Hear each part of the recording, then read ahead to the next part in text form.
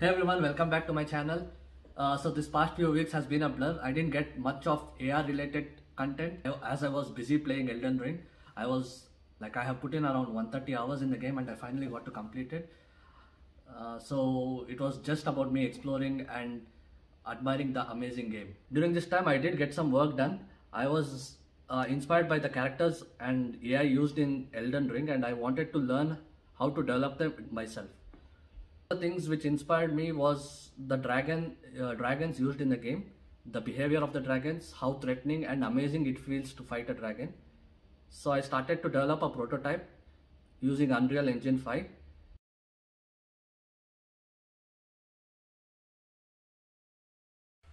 I used a third person template selecting C++. So this is a C++ project. Once the project is created, go to the Unreal Marketplace and search for quadruped fantasy creatures. You need to download this particular sample. Uh, it's free on the marketplace. So add this to your project. Now we'll need to add the dragon character which is in the particular package into our game. So for this create a folder and then create a C++ class. Let the base class be a, of character type.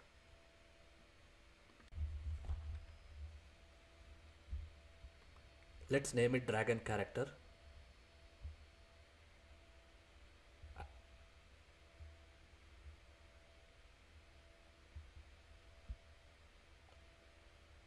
Once the class is created, go back to the engine.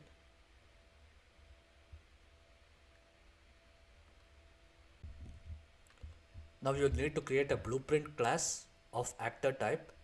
Let's name it dragon underscore BP.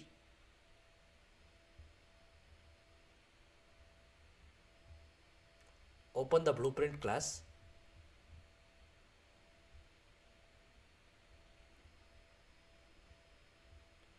let's change the parent class from actor to our created C++ class which is dragon character.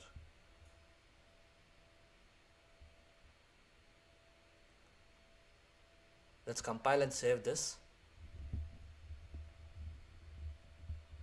Now go to the mesh component and in skeletal mesh select the dragon skeleton mesh. Type dragon and you get the mountain dragon you need to select that once that is done we need to rotate the character so let's first place it on the ground by moving it 90 units down and then rotate it to 90 degrees to the left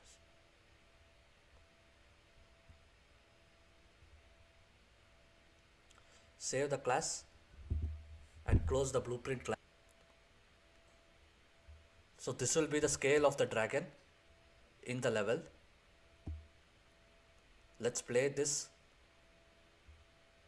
It looks pretty good.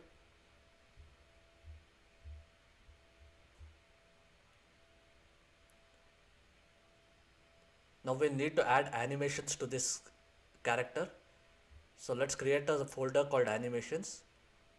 And then the first step is to create the animation blueprint. We will select the dragon skeleton and name it as dragon underscore animbp. This is our animation blueprint class. So we need to add the first state to this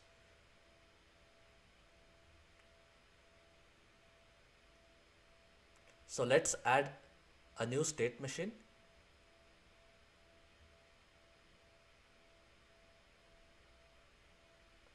and drop the pin to the result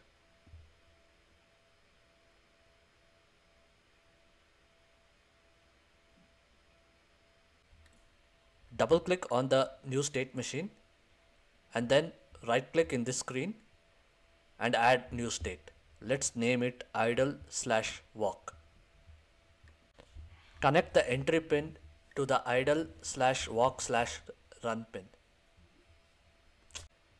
Inside the idle slash walk slash run state, you need to create a blend space. So right click in the content folder, animation, select blend space 1D. Let's select the dragon skeleton for this and then name our file.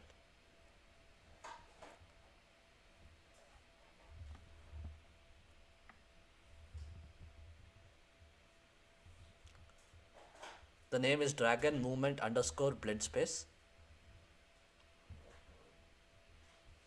So we need to add any two animations which we need to blend. So let's choose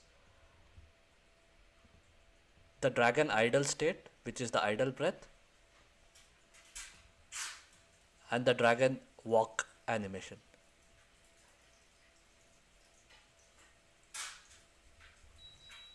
So we need to blend between the idle and and then we'll choose the run state. So we need to idle between the uh, idle state, the walk state and the run state.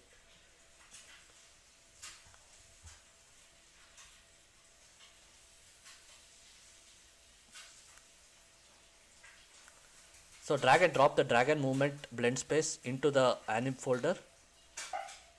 Before this, we need to oh we need to mention the horizontal axis name which is velocity and we need to change the maximum axis value to 600. So let's compile and save it. So this is a dragon anim blueprint and the idle walk run state has this particular blend space. So as velocity changes, the animation changes from idle state to walking state to a running state. So this is a simple anim blueprint and simple character setup.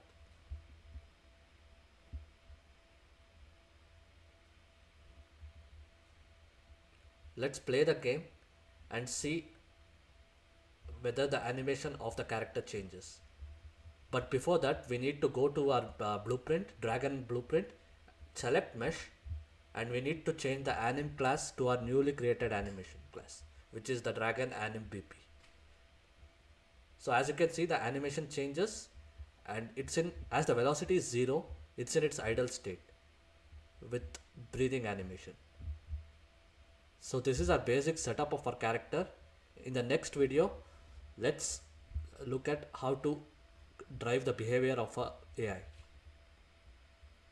Thank you.